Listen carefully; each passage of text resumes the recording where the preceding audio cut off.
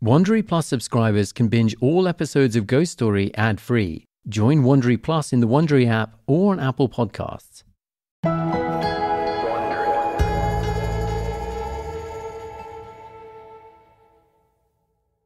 I want to tell you a story. Well, it's really three stories, all wrapped around each other. It's a ghost story, it's a murder mystery, and it's a family drama. By which I mean it's about my wife's family, her family's history, and there's a chance they'll disown me for doing this. If you come out with a piece that says he was a murderer, then I will be sorry that we ever said we would contribute to it.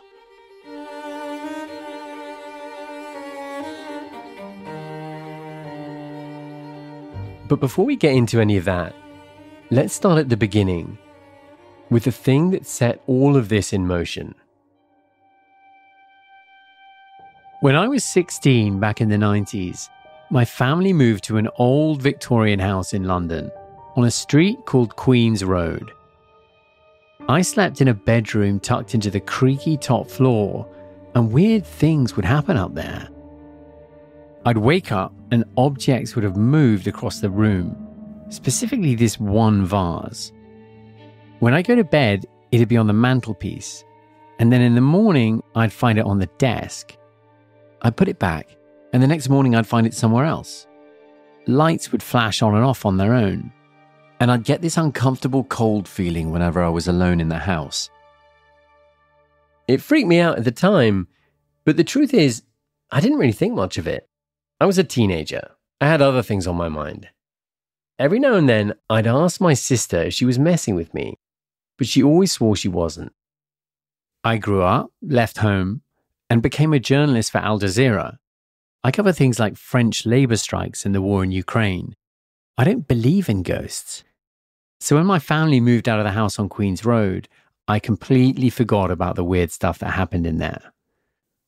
Until that is, a few years ago, a man reached out, an old neighbor of ours, with a story about that very room. I mean, it's quite a story.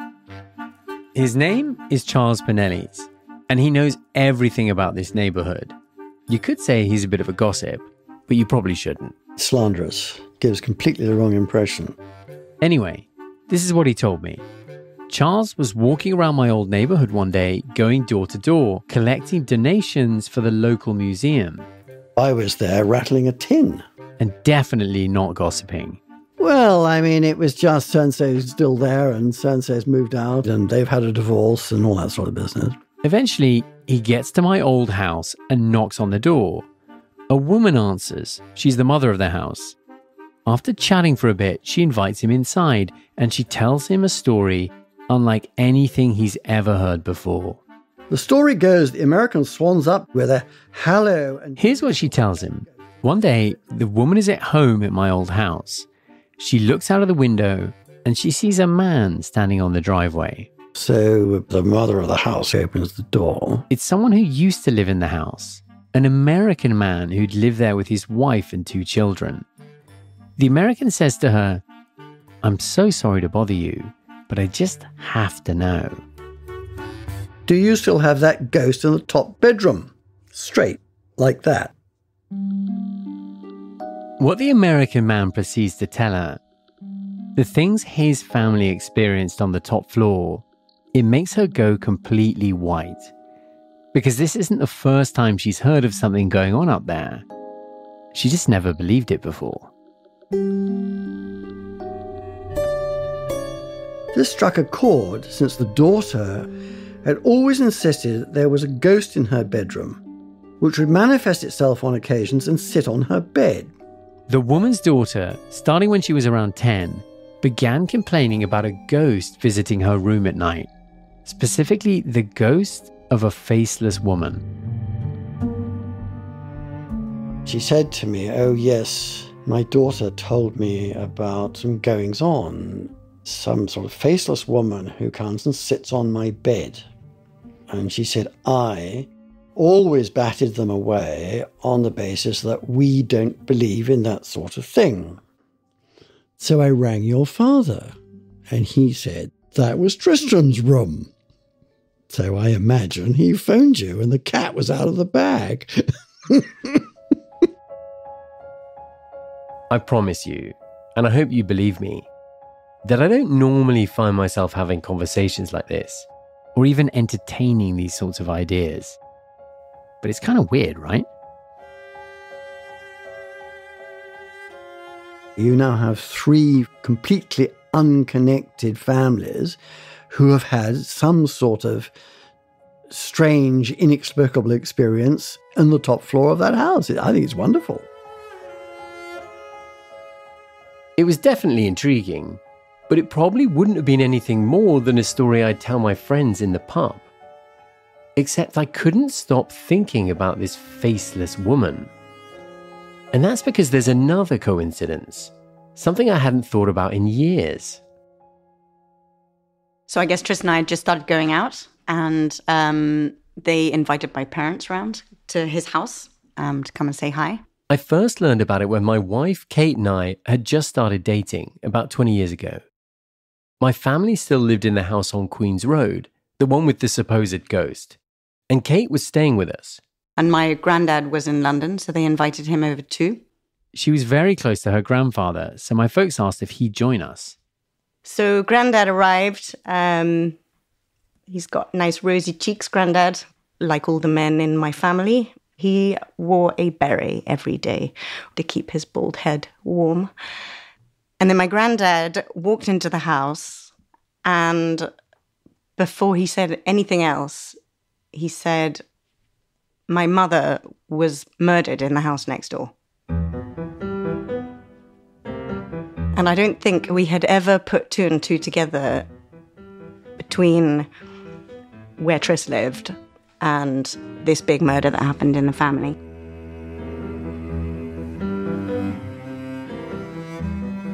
To be clear, I'd never heard about this murder before.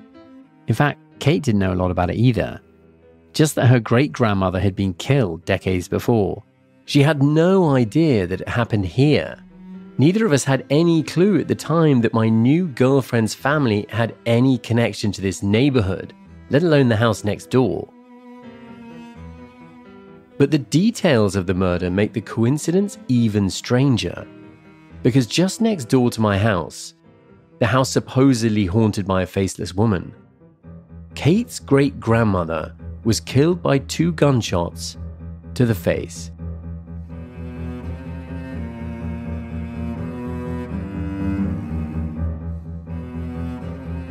From Wondery and Pineapple Street Studios, this is Ghost Story. I'm Tristan Redman. Episode 1 The House Next Door.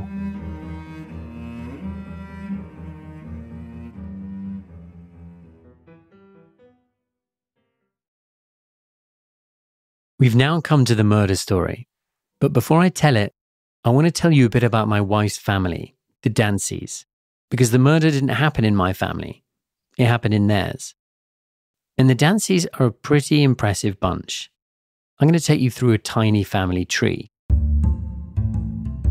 I'll start with the bald guy in the beret, or a beret to you Americans.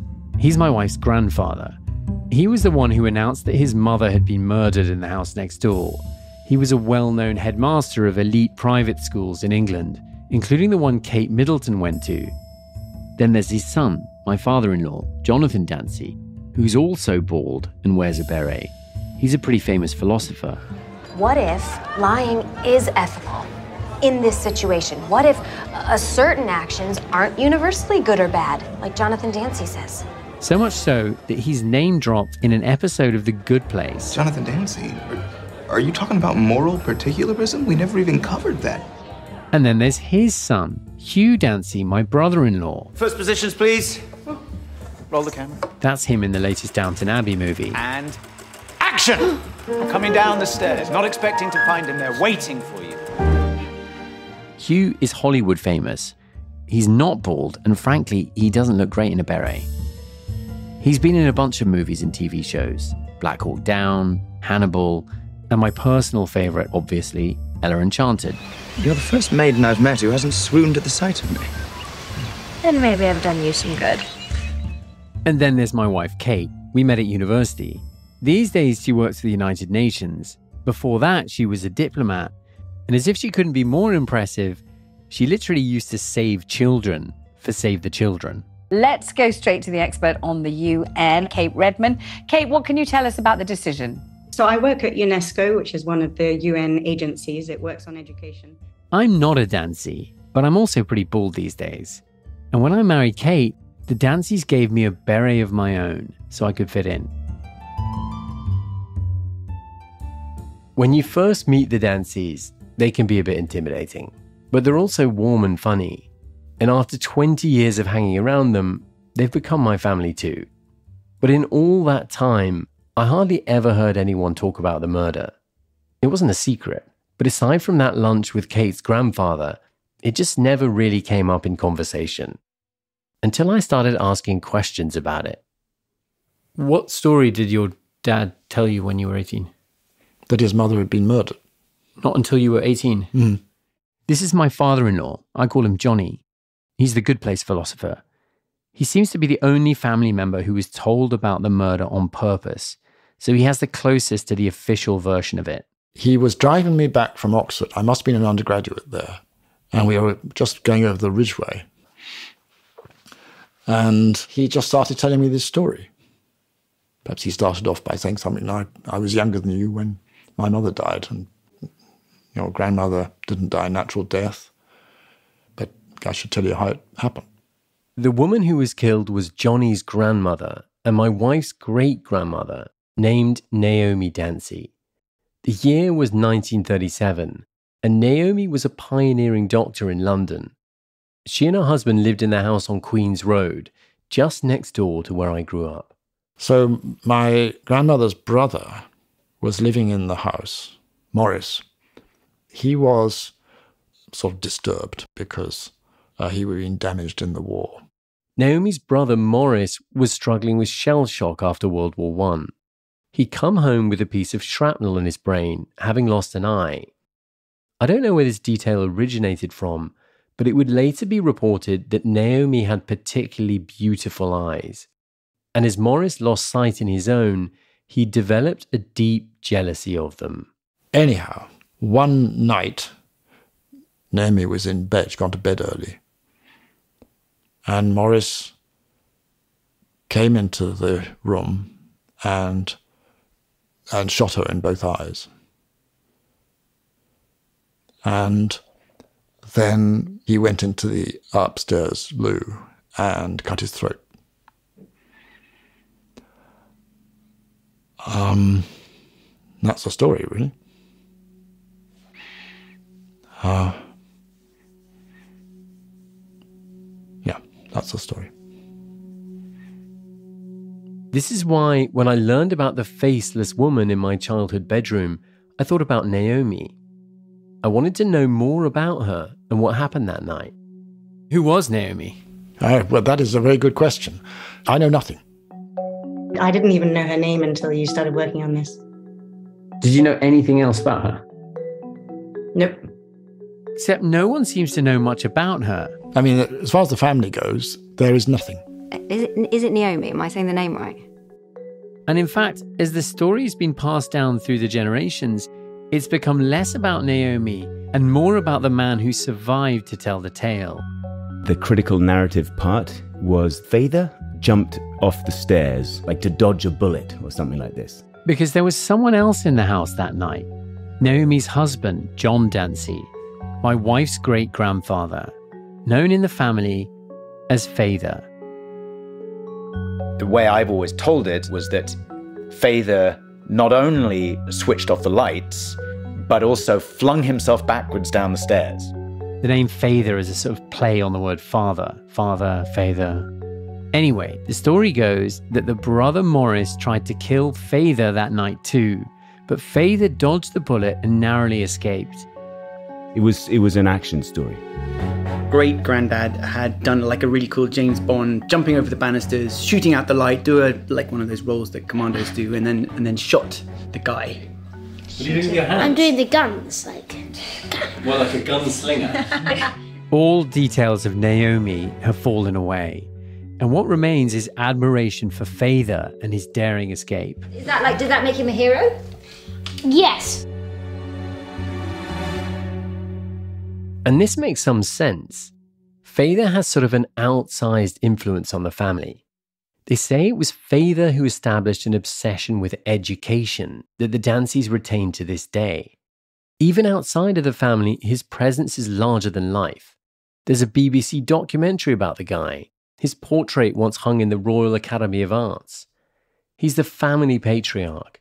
And one of the reasons we're calling him Fayther here is that there are so many John Dancies in this family.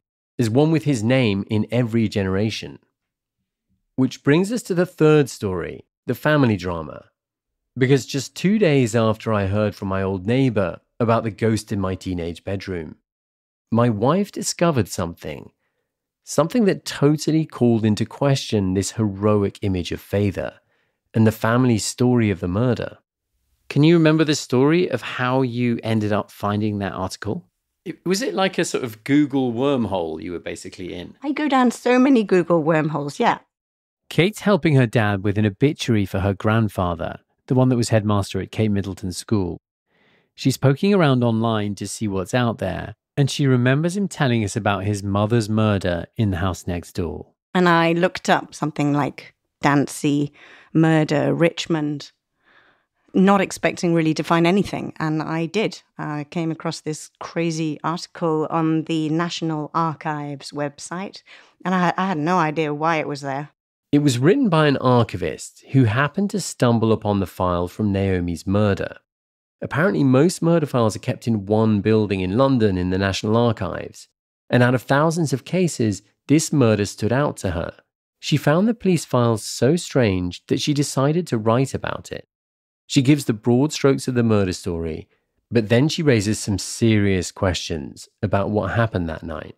So I think it says murder suicide or double murder question mark. It was mind blowing for me because the article questioned who was the guilty party and suggested that potentially it was my great granddad and not the brother. And that was the first I'd considered the idea or even read any suggestion that the case was not sort of closed and clean and and that the right guilty party had been found. Kate forwards the article to her family to see if this could be true, and none of them had heard anything like it before. It was hard to tell how seriously to take the article, but at the very least, we now realize that there was a different version of the story floating around, and it was totally unlike the official Dancy family story. I mean, obviously, the question was did Fayther do it? Kill them both.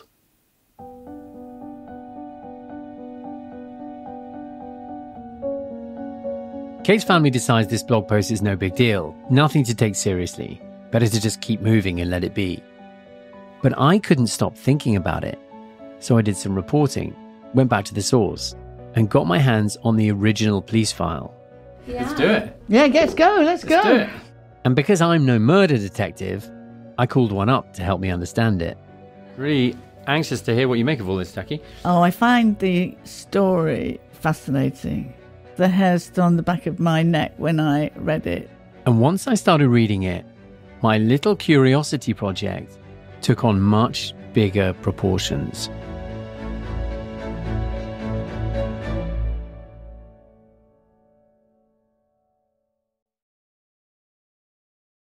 So cute here.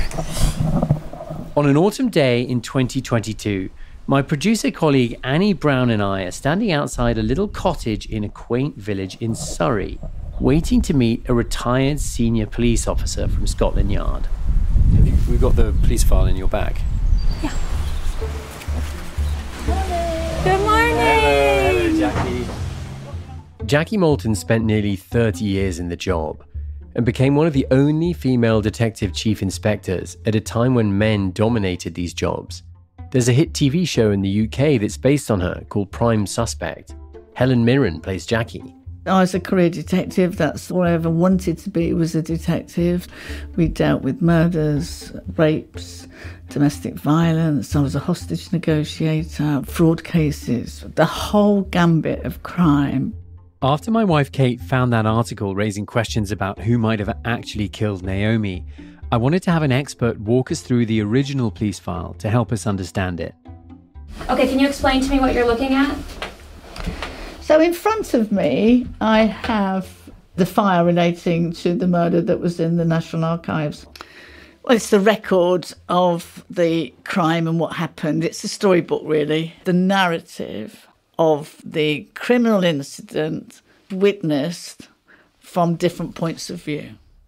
In this case, we have the most important statement from John Dancy. Um, by the way, I, I should say that in my wife's family, there are a lot of people called John Dancy. Um, so what do we call him, Doctor Dancy? We call him. We call him in what he's called in the family, which is Father. Oh, I can't say that. I can't say that because there's no evidence. Sure. Um, but I, if you don't mind, I'll, I'll, call him Father just because it's so confusing for people listening to the story. But if I don't, if I'm not consistent, but for, from you, it's totally fine. We're going to spend much more time with Jackie and Father's statement later. But for now, I want to walk through the night of the murder from Father's point of view. His account is the most detailed version of what happened that night, as told to the cops directly after the murder. So, this is a statement of John Horace Dancy, aged 46, a medical practitioner, who saith, I am a medical practitioner and at the moment semi retired. My wife, Naomi Dancy, was Assistant Medical Officer of Health at Hammersmith, where she has worked for 16 years. We had three children. The statement's rather long, so we'll just be reading parts of it right now. In these first opening sentences, Father is outlining the main characters in the story. We've got Father himself, his wife Naomi Dancy, and her brother, Morris Tribe. Morris Tribe, aged 44, an army officer, pensioned with severe head wounds and with loss of an eye, was my brother in law. Remember, Morris Tribe came back from World War I with a piece of shrapnel lodged in his brain, having lost an eye. Father tells us that Morris's mental health has been deteriorating. He's been drinking more and more, and he's staying with the Dancys on Queen's Road so they can look after him. And now, let's pick up with the night of the murder. Father's statement starts the clock at around midnight. Naomi Dancy had arrived home late from a lecture she was giving across town. Father tells us what happens next. I sent my wife to bed and went and peeled an orange for her and told her to go to sleep as she was tired and I would write to the children and get it off tonight. Then I went to my study on the first floor and started to type letters to the children. Just after midnight, with Naomi in bed, Father settles in to write to his three kids at boarding school, sending them updates from home. Morris is also still awake. I could hear Morris, who was in the next room, moving about. I left my door a little ajar so that I could hear what he was doing. Father is listening for Morris's movements because he says he's already nervous about what Morris is capable of. He explained earlier in the statement that Morris has recently been threatening Naomi, even specifically threatening to shoot her eyes out. About 1:10 a.m., I gauged the time because I rang the ambulance up 20 minutes afterwards. I heard him go to the lavatory and lock the door, and shortly afterwards I heard shots. I thought it was three. I went to the door and saw Morris advancing towards me. I said, Morris, what have you done? He was advancing towards me with the revolver in his hand pointed at my head. I tried to reason with him, but he kept coming towards me, saying nothing. I pretended to lean against the door, and I realized he meant to shoot me. I switched the light out and dropped flat to the floor. He shot as I fell, and the bullet whizzed by my ear and went through the back window. I laid quite still and pretended that I was hit. He then went into the lavatory and closed the door behind him.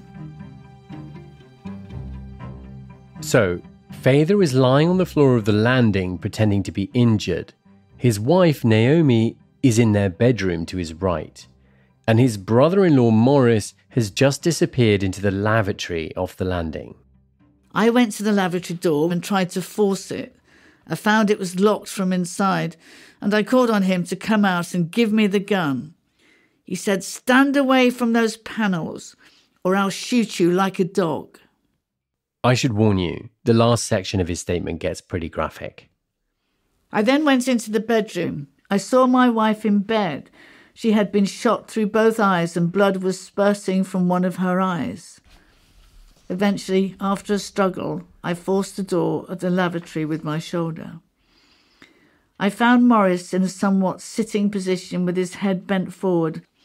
A razor fell from his hand as I pushed the door open. I felt for his pulse and found him pulseless. I left him and went into the bedroom to look at my wife. After a lapse of a few minutes, I telephoned the ambulance and later the police.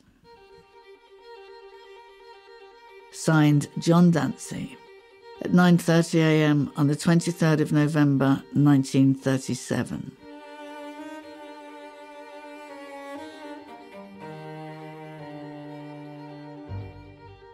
The story of the murder was picked up by newspapers all over the world, from Tennessee to Dublin, Wisconsin to Liverpool. There was something about it that seemed to grip people. Maybe because women doctors were so rare in the first place, or the gruesome specifics of the crime. The headlines read, Envied his sister's eyes, so killed her, or Brilliant woman doctor shot dead. But it was also Fayther's escape that fascinated readers. Nearly every article included a dramatic first hand account of his standoff with Morris and the gory cinematic details that Fayther shared with the press. But the statement is just the first document in the police report. And the more that you read, the more questions that you have to ask yourself. And I would have done this investigation a lot differently. As Jackie, Annie, and I make our way through the file, we get to a point in the story that the archivist noted in her blog post. At this point, some anonymous letters had started to come in. The final documents in the file are two anonymous letters sent to the police by members of the public in the aftermath of the murder. They're barely legible, but both letters urge the cops to look into the husband. One says, quote, Believe me, I am not the only person over here who thinks he murdered his wife and brother in law himself. So if you get one of these letters, what are you thinking? Well, I wouldn't have investigated it like it's been investigated in the first place, but if I received anonymous letters, that would give me a nagging doubt that I had missed something. And what the police do in this is just minimize it and ignore it. I mean, it can all be true. Let's face it, it can all be true. But these are the unanswered questions. Okay, at this point, here's where I am. There's a ghost in my teenage bedroom, a faceless woman. Somehow, I've married a woman whose ancestors just happened to live in the house next door, and one of them had her eyes shot out.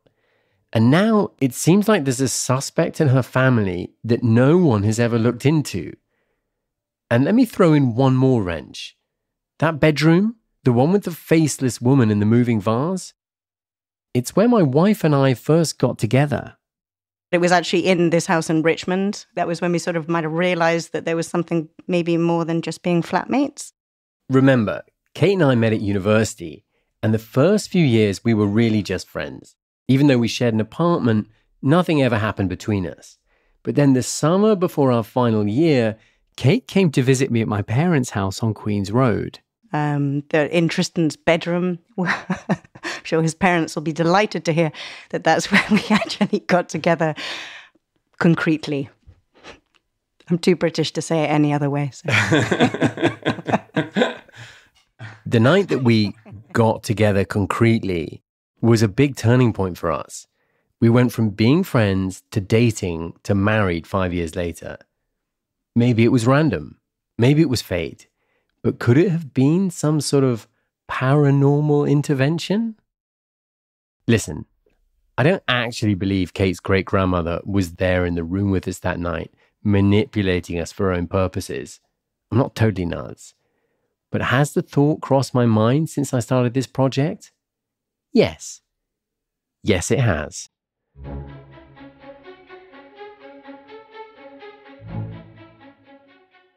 You think you're going to come across as like the wacko ghost believer? In the family? Yeah. I, I hope not. I realize that at best, at best, opening up a 90 year old murder case involving your family, Katie, and wondering if there's any link between the murder and a ghost in my teenage bedroom is totally ridiculous. and at worst, it's a very bad idea as a son-in-law to be doing this. I mean, I, it is it is totally wacko. but is it a terrible idea? In many ways, yes. Uh, but here are the questions I need to answer, right? Did your great grandfather get away with murder? Is your great grandmother the faceless woman haunting my teenage bedroom? And while we're at it, did we end up married because this ghost wants me to solve a murder that everyone's been getting wrong for a century? I mean, it sounds like so far fetched, but um, it's like you you've kind of opened many doors, and you've kind of got to work out where they're going to go. So you don't have to be diplomatic. Do I have your blessing to pursue this story? Oh yeah, you do, you do, you do have my blessing. And then at the same time, I sort of have this sort of strange gut reaction that's like, God, I hope this is done the right way. Shit.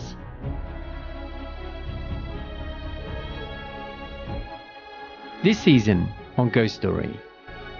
Everything has possibility, doesn't it? In murder.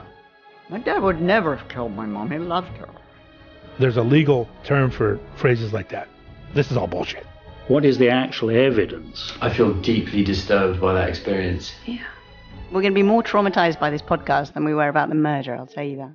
You are deconstructing an age old story that a family has told itself. You're not going to get to the truth. There is going to be blowback.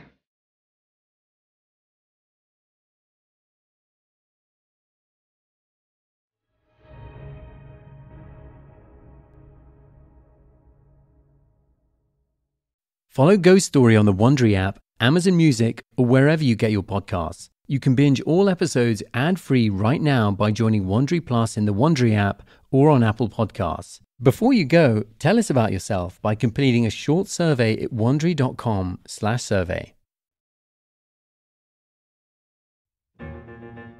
Ghost Story is a production of Wondery and Pineapple Street Studios. It's hosted by me, Tristan Redman. Our lead producer is Annie Brown, and senior producers are Chloe Prasinos and Jess Hackle. Our producers are Zandra Ellen and Emerald O'Brien, and our associate producer is Natalie Peart. Our editor is Joel Lovell, with fact checking by Maximo Anderson. The theme song and music by Daryl Griffith, supplied by APM Music. There's mixing and original music by Hannis Brown.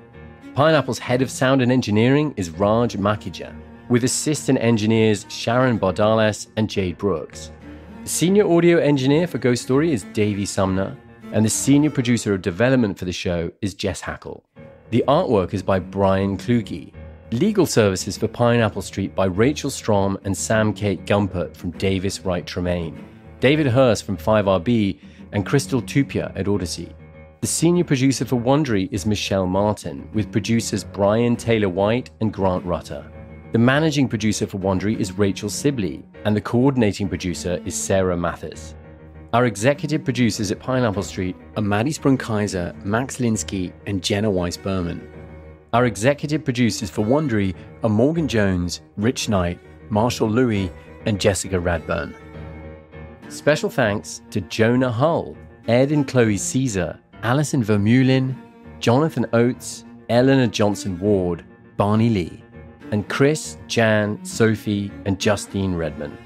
This episode contains public sector information licensed under the Open Government License version 3.0.